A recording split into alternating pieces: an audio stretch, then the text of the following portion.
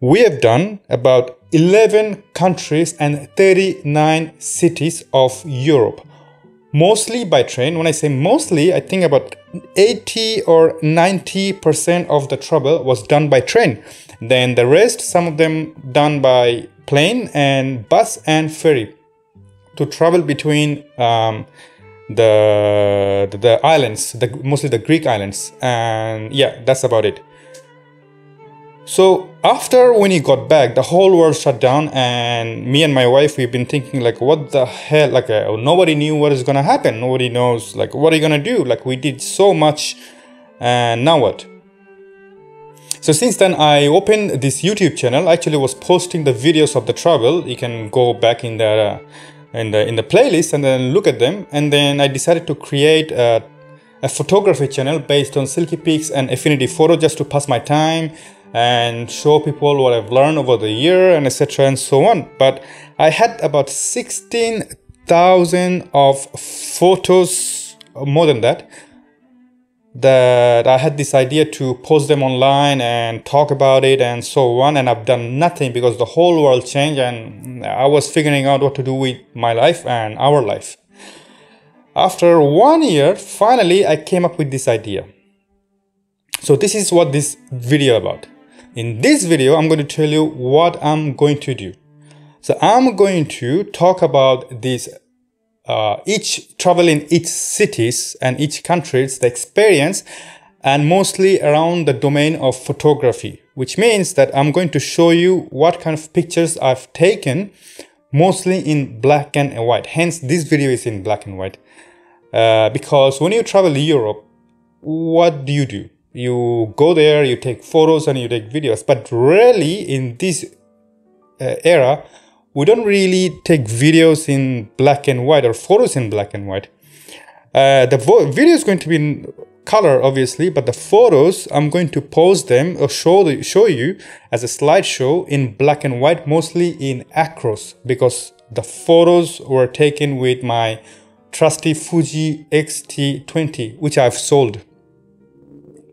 There's a bike just passing by. And now my idea is this, pretty simple.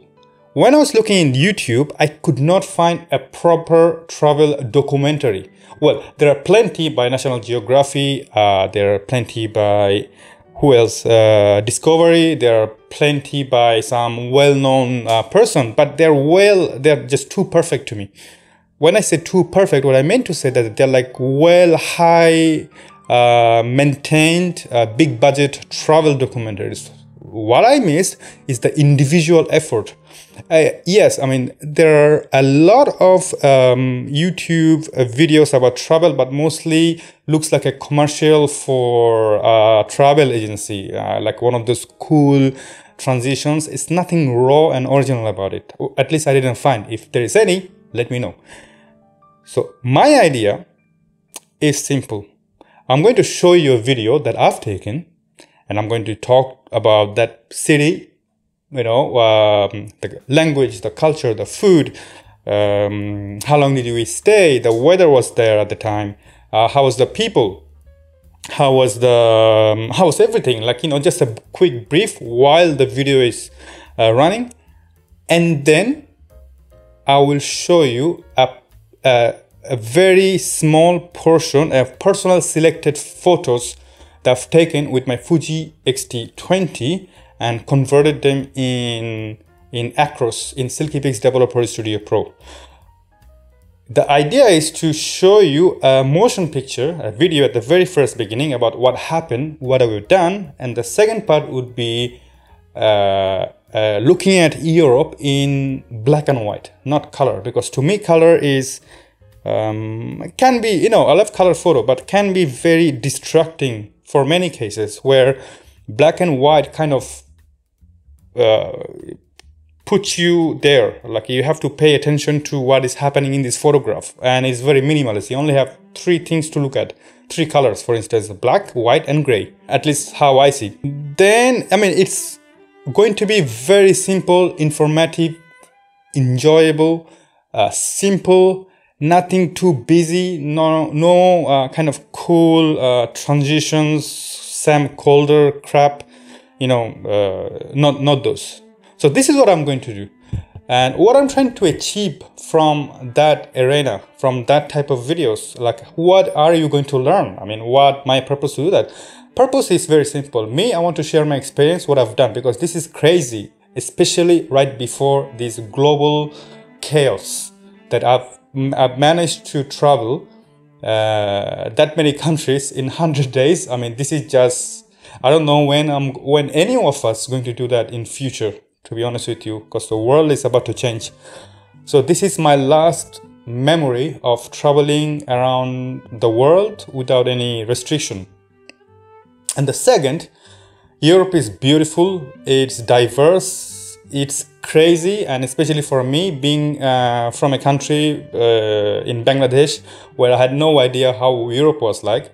And now i got to see the history of world war ii the, what happened to uh, jews what was damage done by nazis the communist versus uh, the democracy. I'm having goosebumps. So still i have fresh memory of all that. So i want to share and i wish to make you feel what I felt.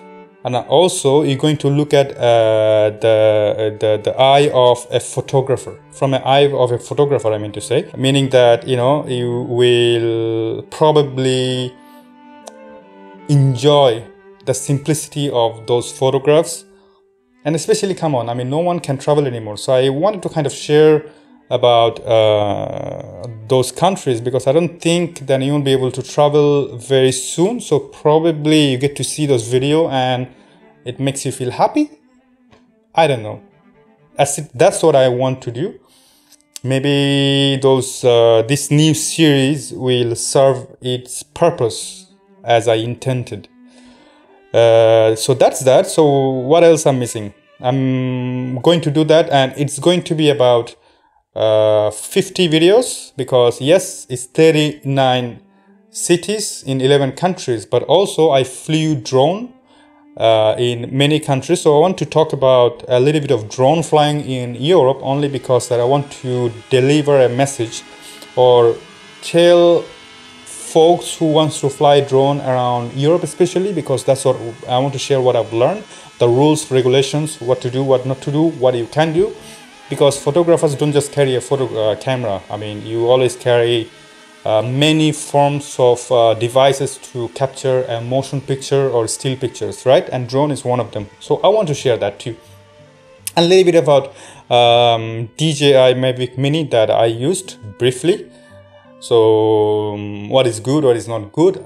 At this point, that's the whole concept. So, this is what's going to happen after next following 50 about 50 videos going to be about that. Um, our first city and the first country will be Switzerland in Geneva uh, the francophone city of Switzerland where we stayed about uh, one night just to discover. That's prob- that was our first stop. And then we started and we went crazy. So the first city we're gonna be nice and quick uh, I didn't really like it much when it comes to. Um, it's not really a city where you want to go and have fun because it's a really serious diplomatic city. It's the diplomatic capital of the world. So I'm just going to finish this video just about now because I think I'm repeating a lot. So it's better to stop and then just show you. Just prepare. Just you, you are going to enjoy a lot. You're going to see about the the beauty of Europe. I believe. At, at least what I found. Europe is beautiful. Um, a lot of people cannot travel anymore. So probably this video is going to uh, give you the impression of travel again in this uh, chaos. So yeah, exciting time ahead. See you soon in future videos. Bye bye.